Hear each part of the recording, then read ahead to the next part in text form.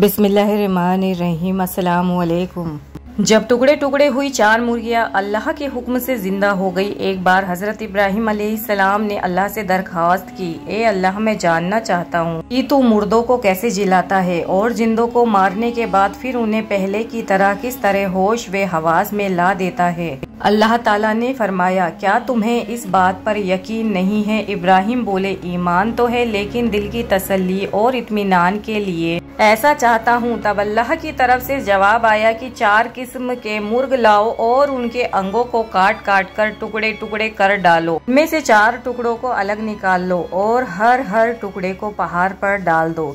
जब तुम पुकार कर उनको बुलाओगे तो तुम देखोगे कि हर एक दौड़ कर तेरे पास आएगा। हज़रत इब्राहिम ने ऐसा ही किया, चार परिंदों को जिबे किया, उनको एक जगह हावन दस्ते में रख कर कूटा, उनके गोश्त, हड्डिया, पर वगैरह आपस में घुल मिल गए।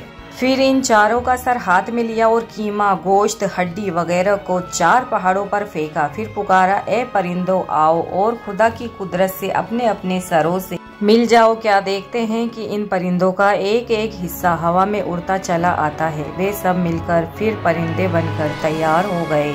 इसी तरह अल्लाह अपनी कुदरत से कयामत में सबको ज़िंदा उठाएगा। हज़रत इब्राहिम की उम्र 125 साल की थी। इसके बाद वह इंतकाल कर गए। सच है, उस खुदा के अलावा कौन है? हमेशा ज़िंदा रह सके।